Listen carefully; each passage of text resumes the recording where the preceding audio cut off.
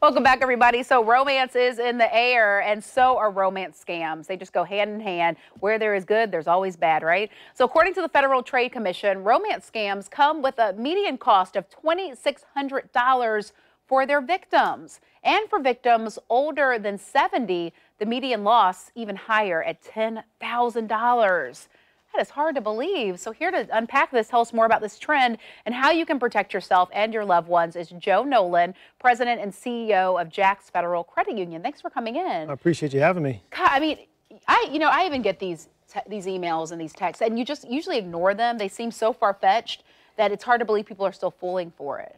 It was amazing. Uh, first off, I, I can't believe I'm on a news channel talking about romance scams. Right. But this is a real problem. A real problem the 2019 numbers aren't out yet, but in 2018, there was reported over $143 million in losses related to romance scams. That was actually higher than any other scam reported to the FTC in that year. What's the line that kind of sucks people in, or is it just the vulnerability that you're lonely? Well, you know, here's the ironic part. It's not a highly complex or elaborate scam. Right. I mean, it starts out very simple, and that's why you got to be so careful. And, and here's how it goes.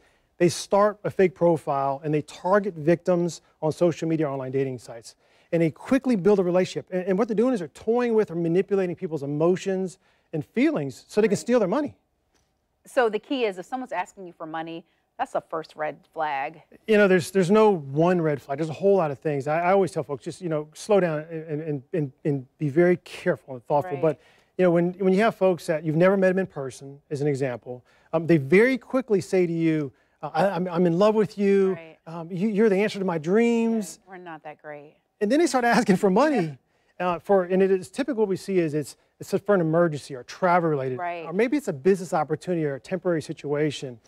I, I, always think that if some if you're meeting someone, you know, face to face, you're usually right. putting your best foot forward. You're not like, oh no, my life is falling apart. And so someone online is giving you that sob story, that that may be a sign that this isn't necessarily true. Right, but you got to remember though, these scammers, I mean, they are very they're, skilled at doing this. So doing. you say that, but they know that that's what you're thinking. So they're already ahead of you on that, and they're building relationship very quickly, and they're and they're sucking you in. And they, you know, the most vulnerable are folks that are single. We see a lot of seniors mm-hmm. that are lonely. 70 years old, they lose $10,000. I mean, it skyrockets. It's four times the amount of money is lost. And we work with our members, and we see this. This is happening daily in Florida. And we're working with our members continually to help monitor and stop these activities. This is a real problem and I and I and I kind of want to retract what I said in the beginning because it's not the person's necessarily their fault. Yeah. You know, they are tricked, Absolutely. and you know, you just have to be savvy and realize that those are out there. And right. there's nothing if you if you if you get caught up in one, you shouldn't be embarrassed about it. Just get the help that you need. Right.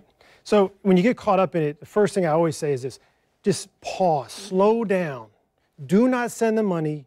And do not let them rush you because those are actually red flags. Okay. I need it by tomorrow. I need right. it by next week stop. Talk to somebody that you know and trust. Right. Notify your credit union or your bank.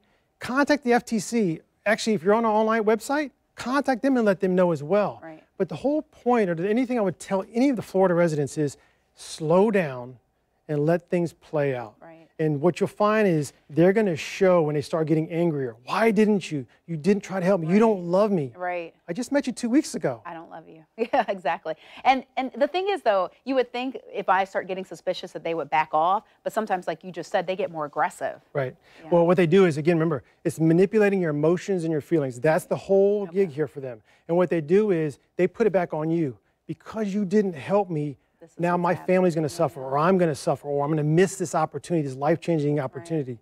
So now they make you feel guilty, which makes you want to do more for them. Yeah, that's interesting. Love takes time, online or in person. Absolutely, like, absolutely. So keep that in mind. Thanks for coming in yeah, and sharing. Thank you so much. I think it's really important information. Also, you guys are having an event, which I know so many of our viewers are looking forward to please go and get rid of your documents in a safe way. Your sensitive personal information, it is one of the most effective ways to make sure that your information stays out of the hands of criminals. So again, this Saturday, Jax Federal Credit Union will host a free shred day. They've been doing it now for eight, 10 years, so they know what they're doing. And also a fraud prevention seminar at the headquarters on Park Street near Five Points. Don't bring your boots. we were just talking some of the crazy things people bring, but bring your stuff and they'll shred it for you. You know, take it out of binders, I would imagine. Correct. Like there's some things that you can do to help it go faster. But that shredding day starts at 9 o'clock. And again, then the seminar is at 10. Thanks for coming in. Thank you so much All for right. having me. Vic, over.